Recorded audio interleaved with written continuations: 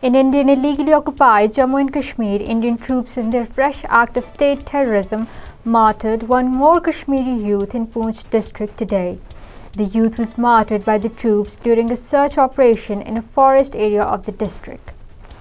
In Indian illegally occupied Jammu and Kashmir, APHC Senior Vice Chairman Ghulam Ahmed Gulzar has said that India's deceitful occupation of Kashmir is replete with fraud and conspiracies and has again planned to stage a drama ahead of the proposed G20 event to malign the Kashmir freedom movement.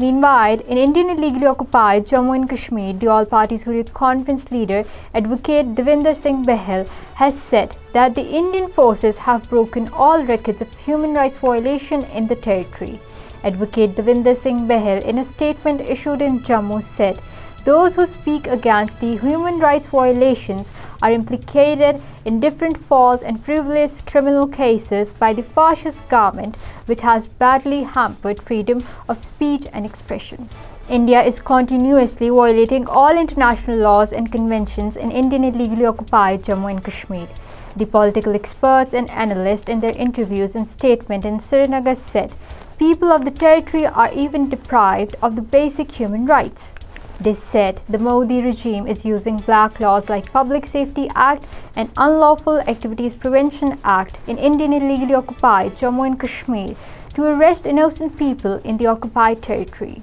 In Indian illegally occupied Jammu and Kashmir, the People's Democratic Party has said the BJP's Kashmir policy and its Naya Kashmir rhetoric are like the emperor's new clothes that the judiciary and civil society have no option but to praise. Moreover, in Indian illegally occupied Jammu and Kashmir, the president of National Conference, Farooq Abdullah, has said that the Mughal history cannot be erased and by such actions the Bharatiya Janata Party led government is hitting its own feet with an axe. In Indian illegally occupied Jammu and Kashmir, the Jammu and Kashmir Muslim League has welcomed the recent statement of the Pakistan Army Chief Syed Asim Munir, in which he stressed the Kashmir solution through the United Nations resolution and the aspiration of the Kashmiri people. He said the people of Indian illegally occupied Jammu and Kashmir have sacrificed lakhs of lives and suffered losses worth trillions of rupees for the sacred cause and would continue their struggle till complete success.